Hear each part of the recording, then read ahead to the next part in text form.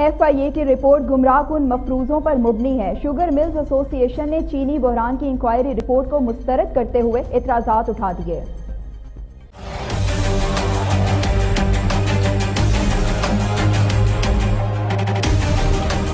Sugar mills association की जानब से 45 सफात पर मुश्तमिल जवाब एफ़ आई ए को जमा करवा दिया गया, जिसमें कहा गया है कि तहकीकती कमेटी में मौजूद अफसरान का ना तो कारोबार के शोबे में कोई तजुर्बा और न ही मार्केट से जुड़े हक का उन्हें कोई इदराक है। तहकीकती कमेटी को यह तक मालूम नहीं कि चीनी का कारोबार पाकिस्तान का वाहिद कारोबार है, जिसमें हुकूमत गन्ने की कीमत तो मुख्त कर देती है, लेकिन चीनी की कीमत का कोई रेट मुकर नहीं किया जाता। शुगर मिल्स एसोसिएशन ने कहा है कि कमेटी जिस दौरानिए की तहकीकत कर रही है, इस दौरान किसी किस्म की कमी नहीं थी। और ये बात खुद कमेटी ने अपनी रिपोर्ट में तस्लीम भी की है। रिपोर्ट में दिसंबर 2018 में चीनी की इक्यावन रुपए फ़ी किलो कीमत का ज़िक्र है, लेकिन ये नहीं बताया गया कि वो चीनी 2017-18 सीज़न में बनी।